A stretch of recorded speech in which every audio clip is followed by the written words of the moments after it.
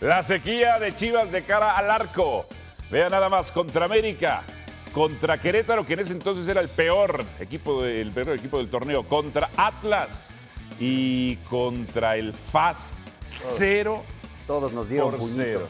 To- A Todos les dieron puñito. Sí, sí, sí, sí. La advertencia de Mauri. Se va a necesitar mucho, mucho más que una campaña orquestada para que deje la presidencia de Chivas. Pues quizá no, ¿eh? Estoy en cuerpo y alma con el club más querido de México. A los que aún no tengo su confianza, lamento decirles que me tienen para largo. Estoy en cuerpo y alma. Pues no se había ido a una boda durante un partido de Chivas. En fin, eso es lo que dice a Mauri Vergara Z. ¿Qué ibas a decir? ¿Quieres, No, no, ¿quieres no, no, puñito? no, no, ahorita que regresemos a cuadro. Puñito, puñito, Prefiero puñito, puñito. a puñetazo. Y, y, y- y- y a Mauri ya recibió un ¿Cómo lo puñetazo. prefieres? ¿Así Así nomás. o así. para arriba? No, así, así, así, así, así, así, así. Tú a las Chivas, para arriba. Ahora, ¿no? a Mauri recibe esto que acaba de escribir a Mauri, que no sabemos por dónde sale, aunque yo quisiera entender que tiene que ver más con todas las quejas en redes sociales de la afición Chivas que le piden que venda el equipo, que ya se vaya, que es el cáncer, que le está haciendo mal.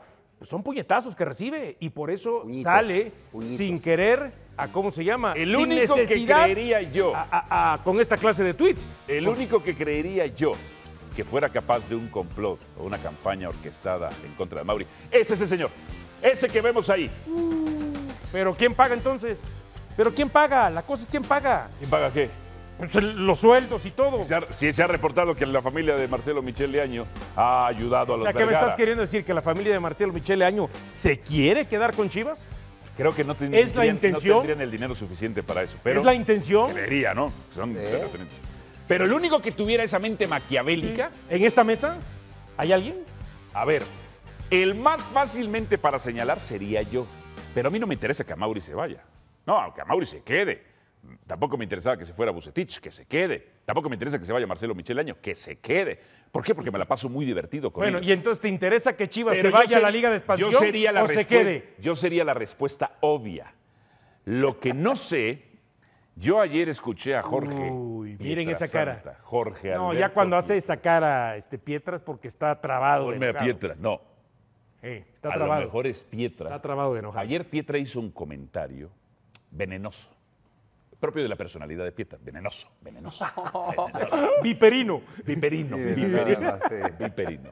¿Quién lo dice? Deja- sí, sí, sí, sí. Déjame, déjame hacerte la pregunta porque no sé si escuché o interpreté bien, Jorge Pietrasanta.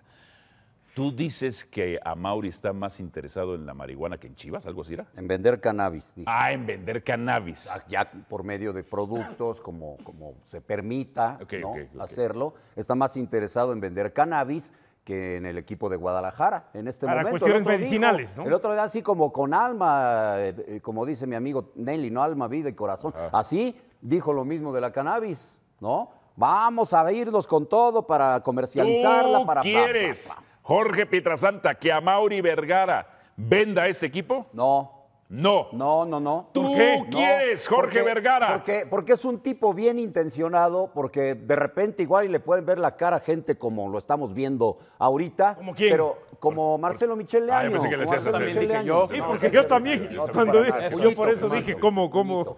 No, y, y se me hace un tipo bien intencionado y me gusta lo de Ricardo Peláez ahí también. Lo que pasa es que nunca falta gente que te empiece ahí, ¿no? A- Entonces a tú no. Serruchar, traes a mover el piso. una campaña. Pero sí me preocupa que esté más él preocupado por otras cosas que el Guadalajara. Ahora ya lo dijo ahí, entonces entiendo que sí está y no piensa dejarlo y vamos con todo para adelante, pero que se dé Es que cuenta es una hay idiotez. gente- Hay gente, Él que es le el hace dueño. mal. Él es el dueño. ¿Cómo un dueño? Salvo que venda, Pero va a dejar la Chivas. presidencia. O sea, tú puedes seguir siendo el dueño. Es, Claro. No me meto, no sé, tipo... Bueno, es como el señor este, tipo Nemesio Díaz. Toluca, ¿no? Sí, Nemesio. Pero era presidente del consejo. Y después, este, por eso. Por pero, tenía, pero el presidente era Rafael Lebrija durante mucho Sí, tiempo. sí, y sí. después No se Valentín. Valentín, perdón. No se mete. Así podría ser. Hermanos, tengo una teoría. Tú eres. ¿Es una hipótesis o teoría? Porque la Teoría tiene varias, hipótesis. Ahí va. Ok. Ahí va. ayer decía Bucetich que si es una teoría, es una utopía también. Ok. Esto es lo que yo pienso que hizo a Mauri Vergara. Llevamos 29 minutos Sí. y fuera del aire antes pensando quién es, a quién se refería, por quién Sí. lo dijo, y no tenemos una respuesta. Sí. Y honestamente, si no eres tú, hermano, no lo ha hecho nadie más. Nadie ha pedido que Mauri se vaya, Ajá, realmente. Te refieres aquí a, en ESPN. Pero tampoco en otros medios he escuchado yo la campaña de medios de comunicación de alguien en los Le medios entró la paranoia. pidiendo, yo también creo, delirio de persecución, podemos decir por una parte, pero para mí es a Mauri poniendo la agenda, cambiando la conversación, distrayendo la atención. Creo- Es lo único que está haciendo a Mauri Vergara. Ayer otra Pero vez. distraer la atención, de Cuando que hoy está todo metido en partidos- Chivas. No, no, no, no, no.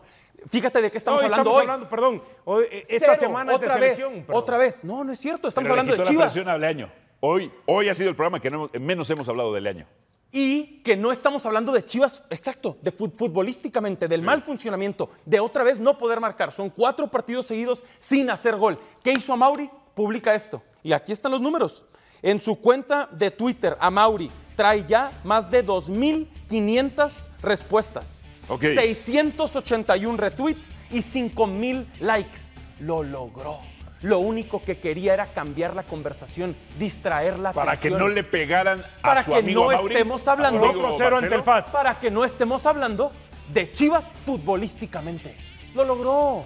Es perfecto lo que hizo. Cambió por completo la conversación a Mauri con ese tuit. Ahora. Hoy ya no estamos reventando a Marcelo Michel. Pero fíjate, yo veo, eh, ayer estaba leyendo algunos comentarios de lo que le habían escrito justamente a Mauri.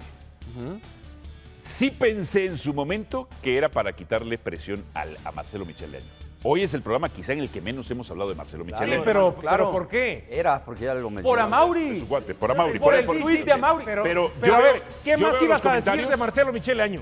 Hoy. Otra vez, ¿cómo puede ser contra el Del- FAS, del FAS. del Salvador, ni en un amistoso? No, Dionisio, no Por es eso, poca pero no es nada di- no es Tú yo no, lo poca que tú te no- digo- no tienes ninguna opinión de Yo partido. lo que te digo es que no es nada distinto a lo que ya hemos hablado. Por eso. Hoy, eh, pero yo te compro el tema. Y entonces, Te hoy, fíjate, hoy sí. no estamos hablando de Peláez se sigue tardando. Ya van Ah, 18 es que- días y es 2 que a horas. ese- ese es el punto Ahí que iba yo. ahorita. Ese es el punto que iba yo. logró. No hablar de lo- del año. Tenemos eso, que hablar de la directiva de Chivas, de Ricardo Peláez, de Amauri, Y- que no tomaron la decisión y, y- el valor para correr a Michele Año o para regresarlo a fuerzas De básicas. No lo estamos haciendo por el tweet de Amauri. Lo logró. Abrimos fútbol picante en un día que juega selección, A ver. hablando 30 segundos del Tata y luego dos minutos de Amauri. ¿Logró qué? Distraer. Logró, claro, Pero los trancazos ahora son contra él. Ah, por supuesto, también. Porque También, yo veo pero los no comentarios en redes sociales. equipo. Le están dando duro, ¿eh? Pero lo, está le están dando lo duro. hizo para defender a Michele Año. No, para distraer la atención. Pero qué distrae si de todas maneras es lo mismo. O sea, es en es un que no es lo Guadalajara en, eh, en Se bajas, inoperante. en bajas absolutas. Se convirtió ahora él en el protagonista de la Hermano, conversación. Pero se ¿para qué puso. querría hacerlo? Yo para pensaría. evitar los golpes a. Marcelo Michele Año, que fue su Pero decisión. le salió peor o no?